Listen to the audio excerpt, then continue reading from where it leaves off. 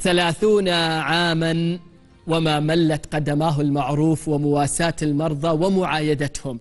عرفتهم ممرات الغرف ووجوه العاملين في مستشفى حوطة سدير لأكثر من ثلاثين عاما عرفته بأثره الطيب وذكره الطيب وهو أجمل ما يتركه الإنسان في أي مكان تطأه أقدامه على وجه الأرض. ثلاثون عاما وهو يبادر بإنسانيته الكبيرة لزيارة المرضى لمعايدتهم ويزرع فينا خصلة إنسانية وأنموذجا وقدوة لن ينساها له الزمن وسنظل نتذكره بها دائما. هذا الأنموذج الإنساني الفريد هو العم علي الموسى الذي يشرفنا اليوم في استوديو يا هلا وبصحبته ولده الأستاذ عبد العزيز بن علي الموسى. جزاكم الله خير. عم علي مساك الله بالخير. جزاكم الله بالخير والعافيه حياك الله في يا هلا. الله وأبقاك. شرفتنا الله ونورتنا يسلمك. أنت قدوة لنا وأب ونموذج. جزاك الله خير. جزاك الله خير. احكي لنا يا عم علي من متى بدأت تزور؟ والعافية عند الله ما هي عندنا؟ الحمد لله. وخطر واحد يقول العافيه ما هي عندك تروح كل يوم. صحيح. الله الله يزيننا بالعافية يا يا رب. الله يا كريم. عم علي من متى بديت زيارة المرضى؟ تذكر؟ ها؟ تذكر من متى بديت العادة هذه؟ من متى بديت تزور المرضى في المستشفيات؟ فيها ما لساني شغل؟ شادني ما فرا أروح لهم ولا؟ لا لا يعني يقول أكثر من متى تتذكر يعني؟ كم سنة؟ كم لك من سنة يعني؟ لا وايد من السنين أي. إيه. ليه- ليش تروح لهم للمستشفى كل يوم؟ وش اللي وش اللي يدفعك إنك تروح لل- للمرضى للمستشفى كل يوم؟ هذا من الله ولا تحرك يا بقوم شدوا الهجوم. يا الله. يقولوا لك اجلس. إيه يوسع صدورنا وش تقول لهم إذا قابلتهم؟ وش وش الكلام اللي يصير بينكم؟ أنا قلت بقوم قلت فمن الله الله إن شاء الله يعافينا وإياك وكل مسلم أي. بس ما يفرحون بشوفتك؟ لا أعطيهم شيء يعني ما أقول لك إني أعطيهم والله ما لا بعطيهم إلا إلا الط- إلا الدعاء. لهنا شلنا نية بي والدعاء أكبر عطا يا طويل العمر. إي والله ما إي والله. إذا قعدت يوم ما جيتم الله يشبرك أعطيهم صخنك يا الله يفقدونك. إي والله. نعم. أبد. الله يطول بعمرك يا رب. يعني الحين ويعينك على يا طاعته عبد العزيز. رحب فيك. الله يحييك أبي يطول عمرك ويسلم. احكي لنا عن الوالد وعن هالعادة متى بداها وكيف. يؤديها كل يوم؟ يبداها من أكثر من أكثر من 30 سنة. هو أي. يروح الصباح يروح المساء على طول. ما لو يقعد يوم فقدوه. وين؟ المرضى يسألون اي. يسألون. وين أبو ناصر ما اجى اليوم الإنسان يوم جاي الشغل عاد الشغل خاطره اي ترى عاد كل زق الله ترزق الله الواحد.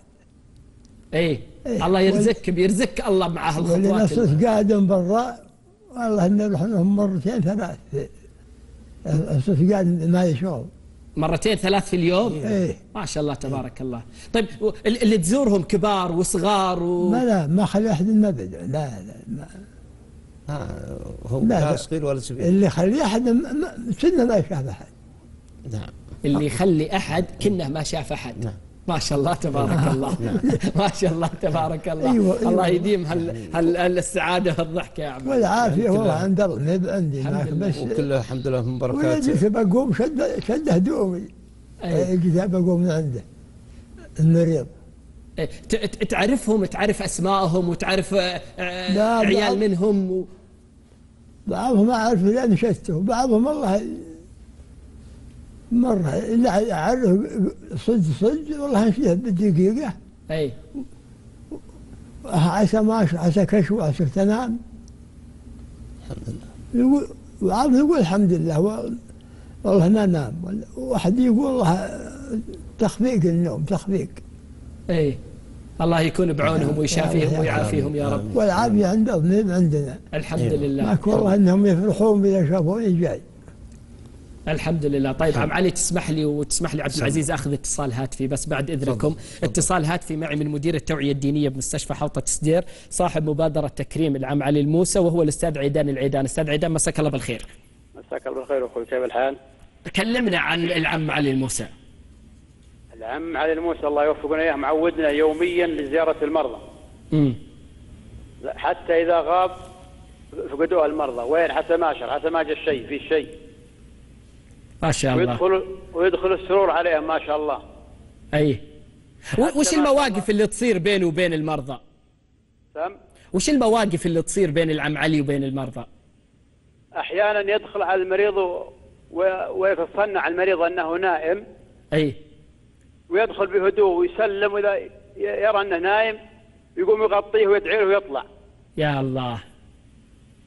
حتى إنه ي- ما شاء الله في صفات طالب العلم ما شاء الله من في أدب الزيارة بعدم إزعاجهم الدخول بهدوء والسلام عليهم ولا يزعجهم إذا كان في أحد نايم طلع ومشى على طول ما يوقظه يدعي له ويمشي. لا لا لا خله بتقول شيء يا عم علي. والعافية عند الله ما عندنا. إي. العافية عند الله ندعي له كل ما جينا لما ودخلنا وظهرنا. إي. هذا. هذا معي على الهاتف الأستاذ عيدان العيدان من المستشفى اللي كرموك. إي. وش تقول له؟ أقول جزاهم الله خير. والله هي إن شاء الله الم- المريض آمين يا رب. طيب آه، أستاذ عيدان متى جات فكرة التكريم؟ وباختصار إذا سمحت لي. والله فكرة التكريم من جيت للمستشفى من يجي خمس سنوات وأنا مبادرتني أنا أي. أكرم الرجل هذا. يستاهل ويسامح هذا على الرأس ما شاء الله. اي والحمد لله طرحنا الفكرة على إدارة المستشفى ما شاء الله. ورحبت بالفكرة على طول مرة. قالوا سووا التكريم على طول. الله يجزاكم خير. أنتم فاتحين له الزيارة في أي وقت؟ مرة مرة. مو شرط أوقات الزيارة. مرة. أي لازم تتوصون في العم علي تكفون يعني. هذا قدوتنا كلنا. نعم هذا هذا تاج على رؤوسنا الله يرفع مقدارك. شكرا لك أستاذ عيدان وشكرا لمبادرة المستشفى. آمين. طب آه عبد العزيز كيف أنتم متعايشين في العائلة مع زيارة الوالد؟ مين يوديه؟ مين يجيبه؟ والله هل أثر فيكم لا والله لا والله ما أثر. لا أنا لو صرت موجود ولا أخوي الكبير الأخ ناصر. أبو إبراهيم يوديه والحمد لله. يعني كلنا متعاونين. يعني يعني أقصد أنه ورثكم هذه العادة في ناس من العائلة صاروا يقتدون بالعم علي ويروحوا لل- والله فيهم. يعني ما أقول لك يعني بس هو الحمد لله يعني هو اللي متواصل مرة. الحمد لله. عم علي مستشفى الحوطة بس ولا تروح مستشفيات ثانية؟ والله ليش رحت اللي برا. أي. نجحت قلت معك. يعني على كلام إذا صرنا ما إحنا موجودين أي. يجيه أي واحد رفيج له عزيز عليه يوديه. ما شاء الله. يودي معه. الله يطول بالعمر قال علي كم عمره الآن؟ 94 سنة. ما شاء الله تبارك الله. قال لك بشوف- العمر. تفضل آمن قال الله بشوف فلان قلت معك. في الحوطة ولا في روضة؟ أي. قلت معك. خوي معك. أي محل؟ وجزاه الله خير يعني. ما شاء الله تبارك الله. لا الحمد لله يعني ومحبوب. محبوب عند العالم كلهم. أنا رحت أنا اياه ورقدوه في مستشفى الملك خالد العيون سوى عمليه قرنية في عينه. اي ألف سلامة. إيه وقعد له 17 يوم. حتى الدكتور قال أول يعني شايب يقعد عندنا 17 يوم. ما شاء الله تبارك إيه، الله طيب كيف كيف كان ردة فعل الناس لما هو تنوم في المستشفى؟ والله جو. زياراتهم. إيه زياراتهم والله يجون. وبعضهم اللي ما يقدر يشوف ولا يقدر يجي بالتلفون ولا هو في فراشه وشلون عينك يا عم علي؟ طمنا. وشلون عينك بعد العملية؟ لا طيب. زينة؟ يا الله لا الحمد لا، لله. الله الله طيب أبى أسمع من كلام تقوله للمرضى في المستشفيات. وش تقول لهم على الهواء الحين؟ وهم يسمعونك. أقول جزاكم الله خير ما قصرتم من ظروفي اي طيب للناس اللي في بيوتهم اللي بعافيتهم وبصحتهم وش تقول لهم؟ ما عند ما عندي الا الدعاء طلب لهم بالعافية. آمين. بعطيهم اياها ويسلوها. آمين ويعطيك الصحة والعافية يا رب ويطول لنا بعمرك يا عم علي. ق- قبل ما أختم هالحلقة عم علي تتذكر أي مواقف صارت بينك وبين ال- المرضى؟ يعني متذكرها مواقف معينة بينك وبين مريض؟ حب من الله. أي. حب من الله. لكن صار موقف معين ولا ما تذكر شيء؟ مريض لا. طلب منك شيء طلبت منه شيء تواصلتوا من بعد خروجه زارك زرته. إيه جاه نزور كل ما ما حب من الله إحنا فلان مسخن فلان أي. والله نزوره والعادة العادة تخالف الأمور ما هي بوقت طيب ما هي بالحيل. أي. يا بعد بعد أول الوقت. ولا حتى الحين الحمد لله كل شيء راهي. لا الحمد لله. صحتك والله. فيك يا طويل العمر. إي والله. يزينك بالعافية يا الله رب. يا كريم. عبد العزيز سمع. بسمع من كلمة أخيرة. سمع. بس أبغاك تقول تقولنا اللي إحنا ما نعرفه عن الوالد.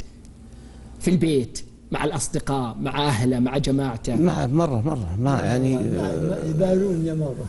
يعني للساحل. يجون لمه يجون لمه في البيت يعني كوه معنا يطلعون وياه مرة. عاد ما يحتاج نوصيك. لا لا. لا لا الله يطول يعني. عمرك حل نشيلها على روسنا نقدر. راسك. إحنا ودنا هالعادة تستمر. والأجيال يتعلمونها الله بصراحة. يطول عمرك يا بي. والله كلهم طيبين. معي ومع الحمد لله. ومع اللي ما يعرفون ما بعيد أجنبي جاي ولا رايح يعني يروح دمه أي. الحمد لله. الحمد لله. والله إن إن إنك قدوة يا عم علي الله وإنك يجزاك. مأثر فينا كلنا. الله أقسم بالله إني من أول ما قرأت الحكاية هذه ومن الله أول ما. قررنا استضافتك يجزاك وكلنا خير. متأثرين يا طويل الحمد العمر. لله رب العالمين. أبد أنا عبد العزيز أشكرك. الله. وإذا لك كلمة أخيرة تقدر تقولها. والله كلهم- والله أشكركم. والله يجزاكم خير كلهم على العيال. ثلاثة العيال. إي. وكلهم والله طيبين معي ومع الناس بعد. تستاهل تستاهل. بنطلع فاصل يا عم علي بس اسمح لي أحب رأسك قبل الفاصل يا طويل العمر. سم تسمح لي أحب رأسك؟